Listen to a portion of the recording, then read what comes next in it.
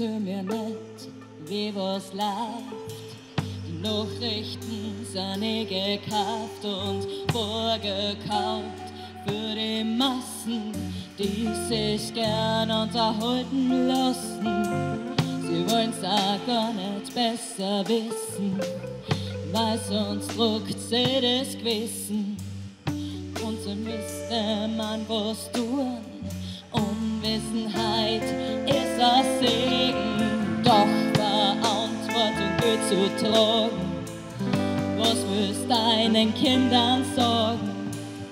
wenn sie irgendwann danach fragen, müsste man bestimmt zugeben.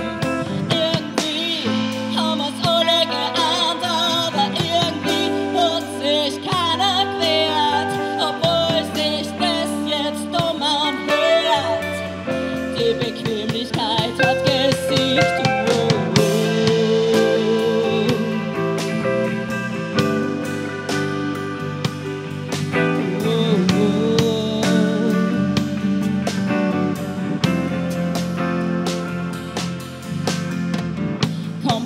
Kompromisse geht mal ein, um den Frieden zu bewahren. Das Prinzip von Brot und Spiele beeindruckt immer noch sehr viele, denn es werden durch Konsum kritische Stimmen wieder stumm.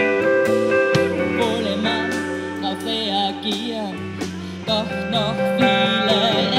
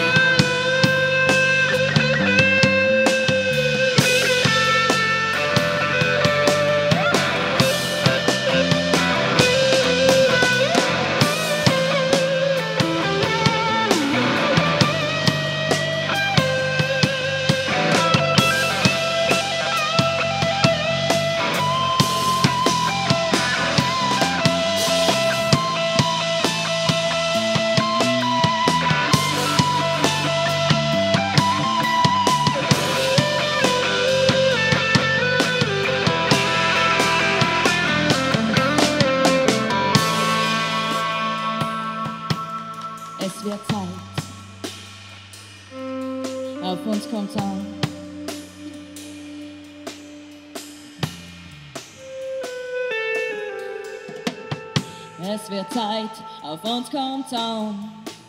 Wir sind nicht nur Publikum. Wir dürfen die Welt damit gestalten.